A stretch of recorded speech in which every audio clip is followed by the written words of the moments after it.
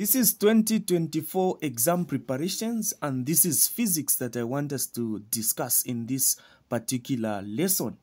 The question is saying a uniform half meter rule AB is balanced horizontally across a knife edge pressed 20 centimeters from A. A mass of 22.5 grams is hung from end A as shown in the figure below. So this is the figure that is given and the first question is saying what is the mass of the rule? Even as we start answering these questions don't forget this is your brother and your friend Harrison J Zulu tutor. So I'm here to help you handle these questions. So don't forget to share don't forget to subscribe. So how can we answer this particular question the first question is saying we find the mass of the rule we want to find the mass of the rule the first thing that we are supposed to do, we are told that AB is balanced horizontally. So we need to rewrite this diagram so that we uh, make it horizontal. So you are going to do this. This is the first thing you are going to do. So it is balanced on this and we are told a mass of what? A mass just uh, to bring you back so that you participate. A mass of 22.5 grams is hung from end A. So from end A, so end A is here. This is where this mass is hanging. So it is what? 22.5. So this is 22.5 uh, grams. This is what you're supposed to do. And there I'm told that is pressed 20 centimeters from end A. So from this point to that, this is what? This is 20 centimeters. So I want you to understand this. This is what 20 centimeters. This is 20 centimeters. It is like this. Then what else are we given? We are told that this is the uniform half meter law. So uniform half meter law, this is to tell you that from this point up to that point, this whole thing. So to make you understand this whole thing, this whole thing here, this is a what? Half meter rule. Half meter rule is what? 50 what? 50 centimeters. Have you seen? This is 50 centimeters. So a distance from here up to there it is what? It is 30 so that when i add i come up with a 50 so i don't want to go that far. I may try to confuse someone. I want to help you understand this so once you understand this whole thing these, these questions are very simple to answer them even in an exam. So what I'm going to do is this. This is what I'm going to do. So I'm going to say that, okay, for this to be balanced, meaning I need to have a distance that should be equal. So I need to have a 5 centimeters here. Have you seen a 5 what? A 5 centimeters. So that here I have 25. Even this side I also have what? 25. So meaning it must be balanced here. This is where it must be balanced. So it must be balanced where it must be balanced here. This is where it must be balanced from here. So here I'm going to put what? I'm going to put W. So that this is 20 plus 5, 25. This O side here should also be what? 25. So this 20 centimeters is being balanced by this.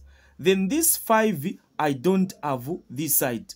So what am I going to do? There is a short way of answering this particular question. So I want to show you that there is a short way in which we can find the mass of the law. So what do we get to do? What you are supposed to do, you just need to say, you get the mass. So you say mass multiplied by the distance. So this is a short way in which you can answer it. Mass times the distance even this side you say mass times the distance this is what you are going to do so mass times the what mass times the distance these are methods you are going to do so mass times distance mass times distance. So for this one we are given this side. What is the mass? The mass is what? The mass is 22 so i'm going to say 22.5 times. What is the distance? The distance is 20 centimeters. So i put my 20 there which is equal to. So the reason why I'm not converting this, this is in grams, this is in what centimeters. So the mass that I'm going to get is going to be in what in grams. So don't be confused. How come you are not changing here? If I change this, meaning I also have to change this. But I'm getting them the way they are so that the mass that I'm going to find is going to be in grams. Then I go to this one is 5 there. So 5 times, I'll just put x here because I want to calculate the mass.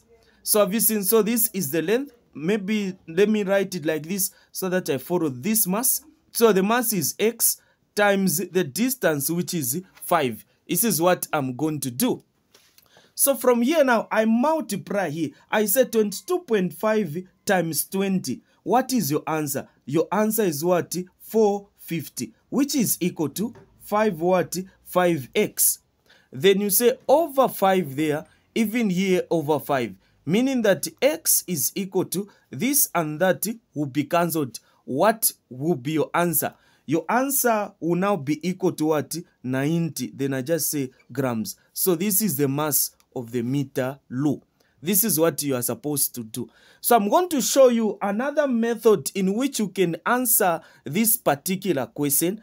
We know that we can also use what we call the principle of moments, which states that for a system to be equilibrium, the sum of clockwise moment must be equal to the sum of anti-clockwise moment. So you can also use that one if you want to answer this particular question. But in this, this is the way, the method in which I'm going to use. It is just one and the same thing. You get to find the same answer. As long as you know that for this to be balanced, it must be, this is the half meter rule. So we need to have a 25 this side, even this side a 25. have you seen so we need to have another 5 years so that it makes 25 so this is what we are supposed to have this is what we need to get and understand we move now to the other question the question is what is the force exerted on the rule by the knife edge so this is another question that we want to answer so for us to answer this particular question or for us to find the answers to this, what we are going to do is this. So this is what we are going to do. So before I even continue with this, I want to assume that we all know how to convert. So if you want to convert from grams to kilograms, you just need to divide this. Maybe there's someone that's saying, okay, is the answer supposed to be in grams? No, you can put this in kilograms. So you just divide this by 1000. The answer that you are going to get, so when you divide it by 1000, you are going to get your answer 0.09 kgs. It is just one and the same thing. So you can get this answer or this. It is just the same. So I prefer putting it here in kilograms because that is uh, the SI units for grams. So this is what you are supposed to do. So we now continue and look at another part. We go to B now. Hope uh, we've understood this particular question. So those of you that uh, haven't connected to me, make sure that you stay connected so that I show you all the methods that we get to use in answering these questions. So what is the force exerted on the rule by the knife edge? So what are we supposed to do now? So we want to find the what? Want to find the force exerted. So for us to find the force exerted, we, you know that we've got, this is the half meter rule. This is A, this is B. So this is at this point, this is where we've got this pivot. It is here. Then this is the mass in we, the mass that we've calculated. So it is balanced on this. So this is the mass. Now, how can we find the force that is here? So you get the same answer that we had. We had 0.09. Multiply it by 10 to find the what? The force that is here. So what answer are you getting when you get that? You discover that you are going to get 0.9 newtons. So it is being balanced by this. Then here we add here here we had 0.09 which is in kgs. Have you seen? So you multiply by 10 you get this one, you also do the same. So I'm just going to write the, answer here so that I help you understand this. So what you're going to do, you get this one, multiplied by what? I mean, divide by 1000, then multiplied by 10. This is what we get to do.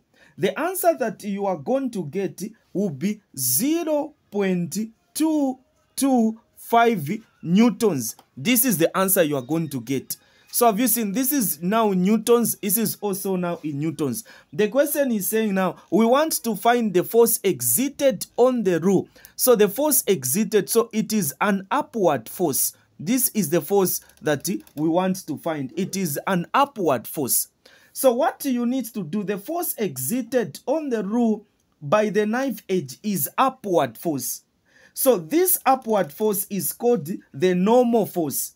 So the diagram that I've written here, it is just helping you understand what I'm talking about. So what you are supposed to do now, according to Newton's second law of motion or Newton's second law, it states that the force is directly proportional to mass and acceleration. This is what it states. So I want you to understand this. This is what it states. We have first Newton's first laws Newton's second laws, Newton's third laws, you also need to understand all those things. So what I'm supposed to do here on this particular question, I believe you are able to follow through. I believe you are able to understand what I'm illustrating here. So this is to tell you that the sum of all forces acting on this is just equal to what? Mass times acceleration. So the sum of all the forces is equal to this. So now, you know now, since the system is at rest, the system is not moving, so the system is at rest. This means that the acceleration is equal to what? Equal to zero. So if the system is at rest, not accelerating, it means that it is not moving. It means that the acceleration is what? Is zero. So this is to tell you that the sum of all the forces is equal to what? Equal to zero.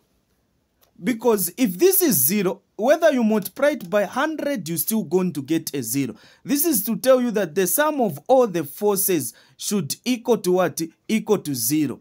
So what we are going to do, we are going to consider all the forces, these forces which are down to be what? Negatives. And that force that is up there to be what? Positive. This is what I'm going to consider. So I'm going to add everything. I want to find the net force that is exerted by the knife edge.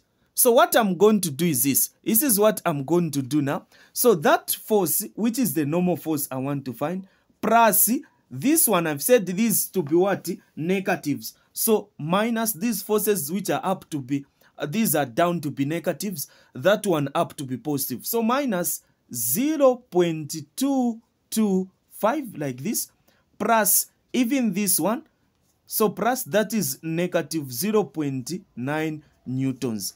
To be equal to what? I equate now to what? I equate to 0. So I equate this to 0. So I'm going to say equal to what? Equal to 0 then I add this. So meaning that what I'm going to form, I'm going to form something that will be like this. This is a normal force minus 0.225 minus 0.9 newtons. So I can remove the newtons for easy calculations like this equal to 0 so I'm going to add this. We know that uh, as physicists, we are also mathematicians. So I believe that we know what this means. Same signs you add. So meaning that when we add this, we are going to have something like this. Normal force, then minus. So when you add here, you need to find your answer as 1.125, which is equal to 0. You group like terms. So this one goes that side so you have normal force which is equal to 1.125 newtons. So this is the what? This is the answer that we found. So the whole point here is just to know that if this is at rest, to find the force exerted on the meter rule, this is what you are supposed to do. So these are calculations that you need to do. These are some of the things that you need to get and understand. We've got a lot of ways in which you can answer these questions, but I just wanted to help you understand this. So this is something important that you are supposed to note. This is something important that you need to understand. So like this, you are done. So meaning that the force exerted on the meter rule by the knife edge is what? 1.125 newtons. This is the what? This is your answer. You are done. This is what you are supposed to do. So even as we continue, we now go to our last question. We've got our last question there. We go to our last question. So for those of you that want tuitions, if you want to be helped, make sure that you WhatsApp me on this number. I'm an academic tutor here in Zambia. Those of you that are watching me from outside Zambia, this is Africa. You want tuitions help, you can WhatsApp me on this number. So those of you in Zambia, make sure you join my online lessons, even those outside. So this is my number. The subjects that we do offer at our academy is biology, chemistry, physics. So I'll say physichem, meaning physics and chemistry, as well as mathematics. And lastly, it is what? English.